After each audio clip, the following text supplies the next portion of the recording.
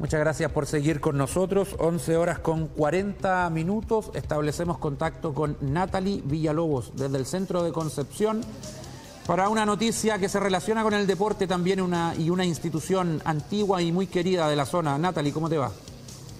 Sí, Francisco, ¿cómo estás? Buenos días. Claro, se trata de una noticia positiva que eh, claramente engloba al fútbol, más bien a un eh, equipo completamente histórico, reconocido acá en la región del Biobío. Me refiero eh, al Arturo Fernández Sevilla, y tiene que ver con su gimnasio, porque fíjate que durante esta jornada ya se firmó precisamente la concesión del ex gimnasio Tijerer para que entonces sea ocupado por cinco años para entonces este equipo y quien va a conversar con nosotros porque asistió precisamente eh, a esta ceremonia es el alcalde de Concepción, eh, Álvaro Ortiz. ¿Cómo está? Muy buenos días. Hola, ¿cómo están? Buenos días. Efectivamente, estamos siendo testigos de esta entrega de bienes nacionales a la Corporación Arturo Fernández Vial de esta concesión de uso gratuito por los próximos cinco años en donde históricamente estuvo el gimnasio de Chile Deporte y que desde hace ya un año y medio lo tiene la corporación de Arturo Fernández Vial.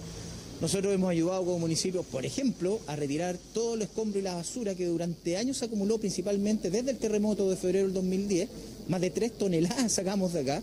Hemos ayudado en todos los procesos administrativos, en todo el ordenamiento también legal que tienen como corporación y que lo han hecho eh, de buena forma. Así que ahora, eh, acompañando al subsecretario de Bienes Nacionales en esta entrega como digo, eh, que permite, en primer lugar, un reconocimiento al club más antiguo de la ciudad, ¿verdad? con toda una historia, con más de 100 años. El segundo lugar y el segundo objetivo de esta entrega de Concepción permite recuperar un espacio deportivo para los habitantes, no solo de Concepción, sino que de la provincia, de la región y del país. Y en tercer lugar, que además eh, se genera este círculo virtuoso entre el mundo público y el mundo privado, donde el mundo público entrega este espacio para que una institución la pueda administrar, le pueda dar un buen uso y donde todas y todos somos beneficiados. Alcalde, lo voy a dejar con este detalle, por cierto, que ahí ya nos ha entregado, sabemos que tiene que volver a la ceremonia, así que lo liberamos, porque muchas gracias, porque claro, la ceremonia se está justamente desarrollando, ahora se acaba de hacer eh, la firma, pero lo cierto es que están las autoridades allá adentro un gimnasio completamente renovado, pintado, que tuvo efectivamente la participación de gran parte de los dirigentes, de los socios de este club. Y que fíjate que durante el año pasado seguían trabajando pese, bueno, a la pandemia, pese también a lo ocurrido eh, con el estallido social, pero esto no ha sido impedimento para entonces eh, contar con este gimnasio con una cara completamente renovada que viene también entonces a entregar servicios a la comunidad, a los niños, por ejemplo, para poder también desarrollar otro tipo de actividades que, si bien se ligan al deporte, se ligan también al tema social. Es una noticia entonces completamente positiva que cuenta también con la visita, llegó durante esta mañana el subsecretario de Bienes Nacionales Álvaro Pillado con distintas autoridades entonces de acá de la región, me refiero, bueno, lo veíamos en pantalla al alcalde, también eh, a eh, la Ceremi de Bienes Nacionales y por cierto lo acompañaba eh, también la gobernadora subrogante, quien está entonces también acompañando en todo este proceso eh, que viene a marcar un hito que era bastante esperado, por cierto, también para aquellos que forman parte de este club y que como ya ahí también escuchábamos, es entonces una concesión de uso gratuito por entonces al menos cinco años, Francisco. Sí, estamos revisando imágenes de cómo, queda, eh, cómo quedó este gimnasio, Natalie, luego del terremoto, abandonado prácticamente, con muchos eh, escombros, eh, se produjo un, trabajo importante de limpieza. Yo recuerdo que alguna vez fui a reportear ahí, eh, es amplio el lugar, es como... la gente afuera no, tiene idea, muchos de ellos, de lo que hay allá, allá abajo. Y hay salones, mini canchas. es un espacio que había que recuperar en la ciudad porque estaba botado ¿ya? Y qué mejor que hacerlo con Arturo Fernández Vial, que es un equipo que se salvó de... No, corrijo, eh, no se salvó, tuvo una gran campaña, estuvo a punto de ser campeón y de subir a la primera B. Eh, sigue en segunda división profesional, sigue siendo profesional y va a necesitar un espacio para el trabajo de sus futbolistas, también de las nuevas generaciones de deportistas, como vemos en imágenes también, algunas niñas, algunos, algunos jóvenes. Vialino va a ser este centro ex Vigeder Natal y tiene muchos muchos años eh, ese centro ahí abajo. Imagínate, de la, de la Digeder.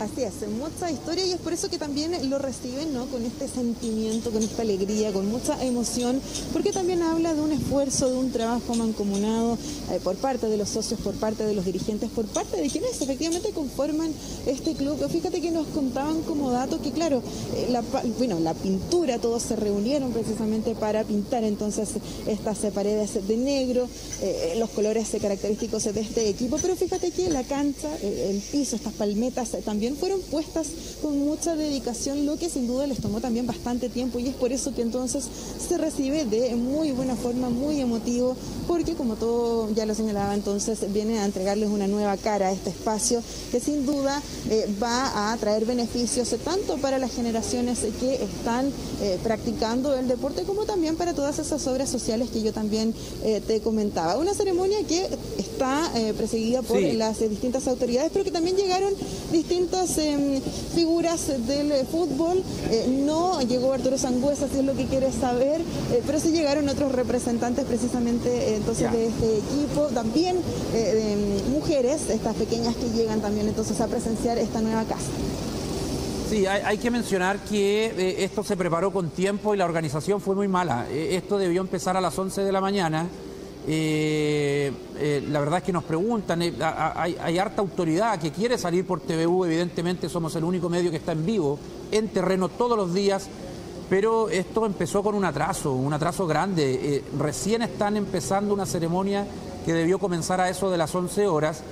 Evidentemente que abajo no podemos estar por un tema de señal y logramos tener la palabra del alcalde a la pasada. Nos quedamos con lo, que hay de fondo. ¿ah? El beneficio para Arturo Fernández Vial. Evidentemente que bienes nacionales es de gobierno y también los vialinos agradecen esta concesión.